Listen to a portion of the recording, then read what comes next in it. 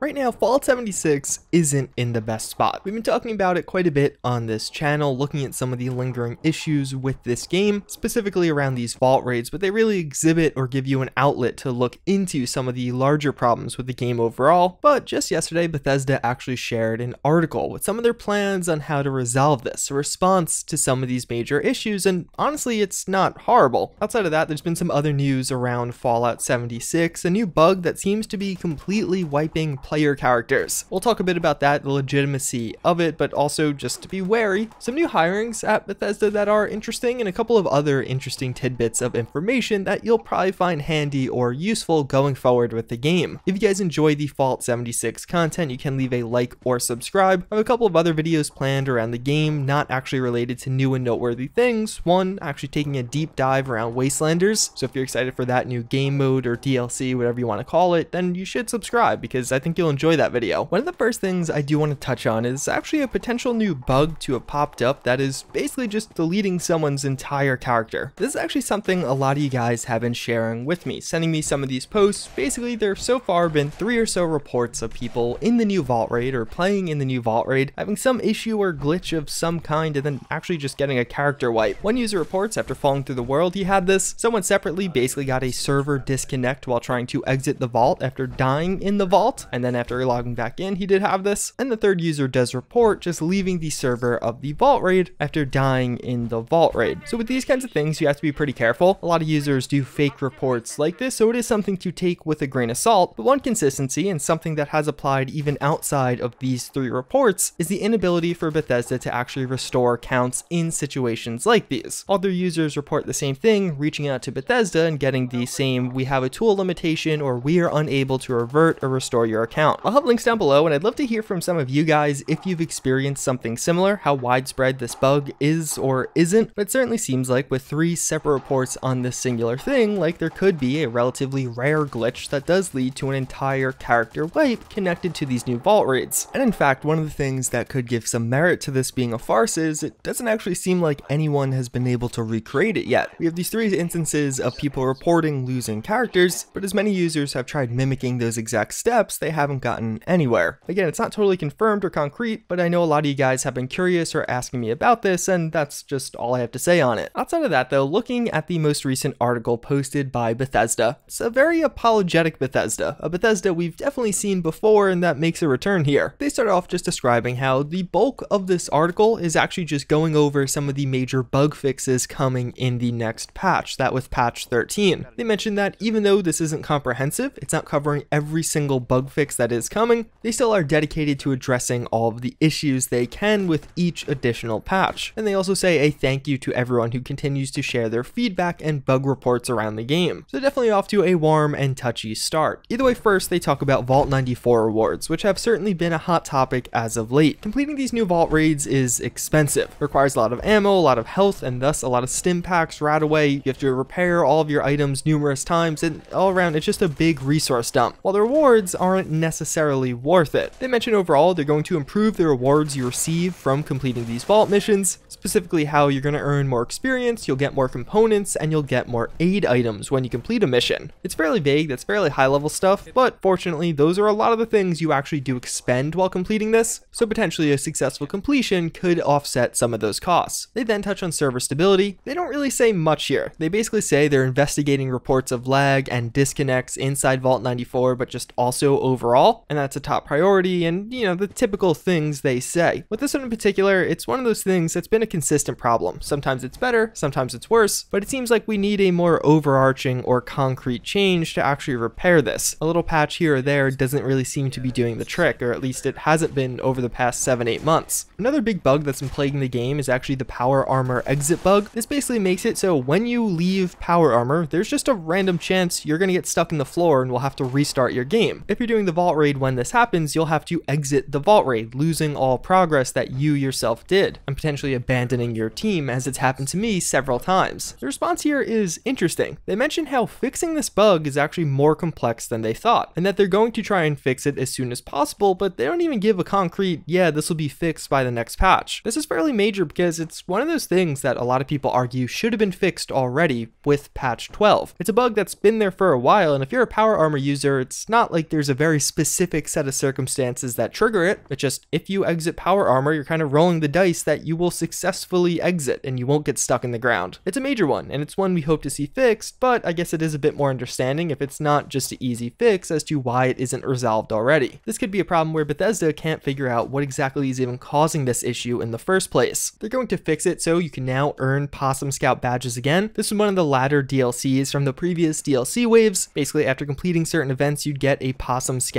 badge, and you can redeem this for prizes such as backpacks or other camp items. As of late, for some of these events, they just haven't been working. You'll complete the challenge, put in the effort, but won't get any reward. This is another one that's been here for a while. It's a lingering bug that, for whatever reason, didn't get patched timely. They're making some changes to crops so they can be placed better, and it just seems like it'll be an all-around improvement to placing crops down. But then they also are bringing several quality of life or other changes. Mods for the scout armor are getting a bit of an overhaul as far as the descriptions go, so it's a bit more clear. An issue with connecting wires in your camp should be cleared up, making it a bit easier and a bit more consistent. But then actually two of the bigger changes that are going to be nice changes to the game, they're now giving us the ability to see what armor or weapon mods we're currently missing. So they say there's going to be a number such as how many mods you have unlocked, let's say it's five, and then how many mods there are in general. So let's say that's eight. So you'll know there's three more mods you have to find out there. They're also bringing a cool change to armor penetration. They're making it so non-ballistic weapons will benefit from the armor penetration effect. So an anti-armor laser will actually now pierce through energy resistance. This might sound simple, but energy weapons in this game are absolute trash, pretty much unusable because they're so bad. This could really turn that around. It's not clear how big of an impact this will have, but some that could really benefit from this are things like the Flamer, Shish Kebab in game, or even the Assaultron head, which already does good damage, but this will really up that, potentially making it not only viable, but actually pretty good. Definitely a good time to start buying up some of these legendaries before everyone realizes their value increase. At the end, they mentioned they're going to be making overarching quality of life improvements to the public event system in Fallout 76, but they're going to be going more into that next week. Also, there's a legendary item sale, the legendary vendor in game. So overall, I think this is good. Bethesda did this article in a really good way, just laying out the current issues with the game, some of the big ones, and explaining the fixes they're planning and when we can actually expect them. And for some, explaining why it's a bit more difficult or why we don't have a fix just yet, although they definitely should have explained more with server stability and disconnects considering how large of a problem that is. And although on one hand I definitely appreciate this communication, I think it's good, a lot of these issues again just aren't new. Many of these bugs and the ones that they're finally fixing have been here for literally weeks if not months at this point. Definitely long enough that they should have been fixed in previous updates. It's good that we're seeing these things getting addressed and fixed finally, but it's really hard to get excited or be happy about these when it almost feels like it's late. I'm not super happy that they're finally getting to some of these issues. I would have been a lot happier if they were fixed in a prompt manner. With the Vault 94 awards, you definitely can argue that is in a prompt manner, but to me at least some of these other bug fixes feel like they're long overdue and should have been addressed a while ago. To some degree, it almost feels like there might be a staff problem, like maybe 10 people working on bug fixing the game, while in reality you need 20 people doing that job. That's pure speculation. We don't know exactly what's the cause of some of these issues or why some of these updates contain additional bugs, but if it actually is a staff problem, it does seem like Bethesda Game Studios Austin, the people working on Fallout 76, actually have been hiring. There's a variety of job listings, several of these only being posted a couple of days ago or in the past couple of weeks. Things like quest designers, a UI engineer, one that would be particularly useful is a build engineer, basically assuring the quality of each subsequent build of this game, something that has been a pretty big problem. But either way, some of these more recent listings and even just the large list of listings we do see does get me hopeful for the future. I definitely have had some concerns as to whether or not Bethesda can fix all the lingering problems, but also deliver the product of Wastelanders come this November. But if they are expanding or using additional assets to achieve this goal, hopefully it does actually get accomplished. But of course, that's definitely the glass half full way of looking at things, that these are additions to the team meant to grow its overall size. Alternatively, these could all be replacements. Maybe Bethesda is doing some internal firing or changing up of the development team behind Fallout 76 due to some of these lingering problems. There's nothing really to support that one way or another, but of course, with new job hirings, that always is the potential. But a couple of other interesting observations about Fallout 76 itself are actually around these new vault raids. One user you may have heard about in the past is a streamer by the name of AustralVoid. He streams Fallout 76 and he has a lot of those kind of world first or completing things things in very hard conditions. He was the first to reach level 100 in the Nuclear Winter mode, he was the first to complete the previous Vault Raid solo on Expert, so he's clearly pretty talented. He has a pretty good idea of what he's doing around these. I'll have a link to his stream down below, it definitely is worth a watch, but something interesting. Firstly, one strategy that has proved for him to actually be super handy in completing these Vault Raids is completing them on survival mode. In Fallout 76, there are servers for adventure mode, but separate servers for survival mode. Since survival mode has so few players, the server stability and the lag you experience is actually much better. And this has actually become a consistent strat from many people trying to get consistent runs on expert mode. And actually, in fact, for the most recent Vault Raid, almost required to even have a chance at completing it on expert mode. Which speaking of, at least as of the time of recording this video, and it is subject to change, I haven't heard of one singular instance of somebody actually successfully completing this vault at all on expert mode. That specifically being around the most recent vault raid that is particularly tedious, having a lot of steps that are dependent on server stability and lag can affect them, but specifically from this streamer, somebody that was able to complete the previous vault raid solo on expert mode can't actually complete the latest one with a team of four that are coordinated all with mics on expert mode. I think that really speaks the difficulty difference in this most recent mode and how much of a problem it kind of is. It's definitely something that has to be looked at or something probably has to be changed. I'm all for a high barrier to entry or making things difficult